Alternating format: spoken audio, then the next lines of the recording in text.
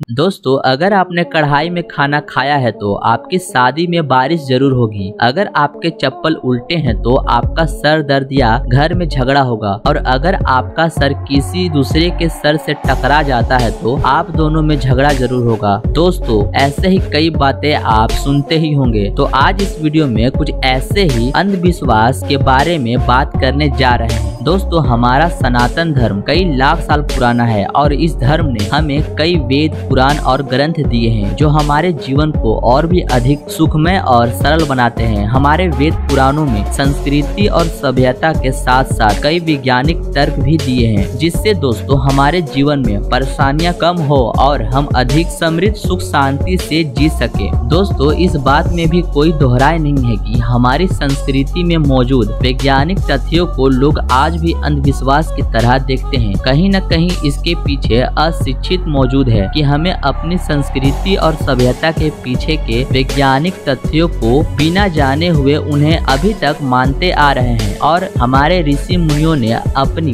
जो भी सभ्यता और तौर तरीके बनाए हैं, उसमें बहुत बड़ा विज्ञान छुपा हुआ है, जिसे आज के वैज्ञानिक भी काफ़ी हद तक मानते हैं। लेकिन हम लोग उनके विज्ञान को न समझ कर बस अंधविश्वास की तरह अभी भी उनमें विश्वास करते हैं और बेवकूफों की तरह उन्हें फॉलो करते आ रहे हैं, जिसका कोई अर्थ या मतलब नहीं है। तो चलिए दोस्तों, इन्हीं में से कुछ अंधविश्वास को आज समझते हैं।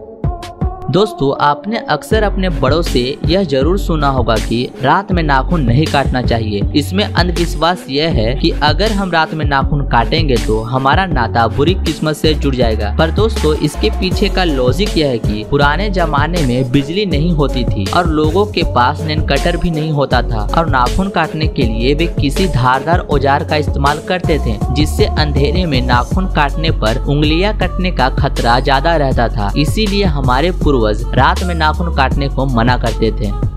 ग्रहण के समय बाहर ना निकलना। लोग कहते हैं कि ग्रहण के वक्त हमें घर से बाहर नहीं निकलना चाहिए और ना ग्रहण लगते हुए सूर्य ग्रहण को देखना चाहिए। इससे हम पर बुरी ताकत हावी हो जाती है, जिससे हम बीमार हो सकते हैं या हमारी आँखें भी खराब हो सकती है। तो चलिए दोस्तों, इसके पीछे के वैज्ञानिक तर्क को जानते हैं। जब सूर्य ग्रहण लगता है तो सूर्य और पृथ्वी के बीच में चंद्रमा आ जाता है। चंद्रमा और सूर्य के रेडिएशन और किरणें साथ में मिलकर पृथ्वी पर पड़ती लगती है, जिससे इन दोनों की रेडिएशन और किरणें आपस में मिल जाने के कारण वो हमारे लिए काफ़ी नुकसानदायक हो जाता है, जिससे अगर उस समय हम लंगी आँखों से देखने का प्रयास करेंगे तो उसकी किरणें हमारी आँखों को खराब कर देती है और उसकी रेडिएशन हमारे बॉडी के वाइब्रेशन को भी डैमेज कर सकती है, जिससे हमारे शरीर में भयानक बीमारी भी जन्म ले सकती है। और इस रेडिएशन के चलते ही उस समय जो भोजन बनाया जाता है, उसमें वह रेडिएशन मिल जाती है और उस बेकार रेडिएशन के कारण वह खाना भी हमारे शरीर के लिए काफ़ी नुकसानदायक हो जाता है।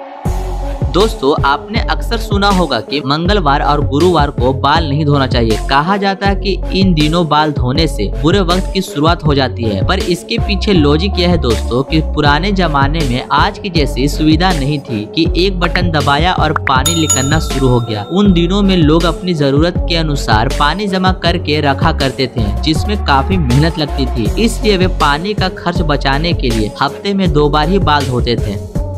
बैठकर खाना खाना। इसके पीछे यह अंधविश्वास है कि ज़मीन पर बैठकर खाना नहीं खाने से आपके पूर्वज नाराज़ हो जाते हैं। लेकिन दोस्तों, इसके पीछे का लॉजिक यह है कि ज़मीन पर एक सही पोस्टर में बैठकर खाना खाने से आपके पेट के ऑर्गन सही अवस्था में रहते हैं, जिससे आपकी पाचन क्रिया ज़्यादा अच्छे से काम करती है और खाना आसानी से पच जाता है।